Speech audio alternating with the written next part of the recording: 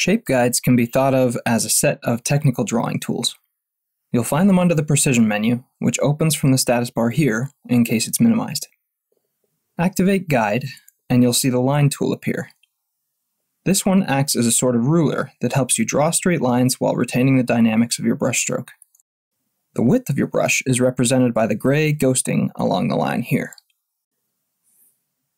Drag on one of the handles to reorient the line tool. To reposition it, drag on the crosshair in the middle. You can also use two fingers to adjust, just like with a selected item. The rotation and scaling of the guide can be restricted down here, or adjusted precisely using the measurement pop-up as usual.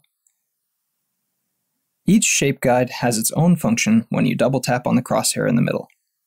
With the line tool, this limits your stroke drawn between the handles. When you need to zoom or pan the canvas, dismiss the guide with a single tap on the canvas. Now you can activate the guide again either by tapping on the toggle or by undoing your previous action. You'll notice that the line tool appears at its previous location even if we moved on the canvas. If we move completely outside the lines we just drew, the line tool appears in the middle in its previous orientation.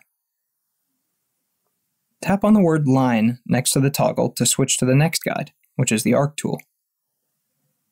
The functionality of this is similar to the line tool, except that dragging the handles reshapes the curve of the arc.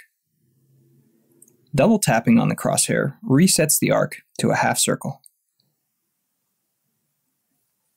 The ends of the arc always remain tangential to the line along the handles. This can be useful when combined with snap, so you can smoothly continue at the end of a line.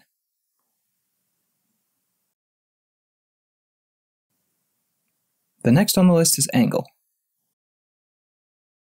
Once again, use the handles to adjust the angle. If you activate measure, the angle of the tool will be displayed. The angle can be applied manually as well with a tap and hold directly on the value.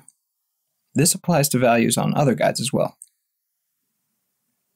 Double tapping on the crosshair resets the tool to 90 degrees. A single tap on the value, while measure is active, sets a floating measurement label of the angle. Each shape guide includes this functionality in some way, but we made a whole video of floating measurement labels, so be sure to check that out. Next we have ellipse, which is essentially the same as arc, except being a whole loop.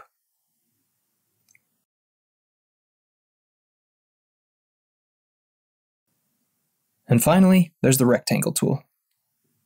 Something worth noting about this one is that oftentimes it's better to turn rotation off for easier control.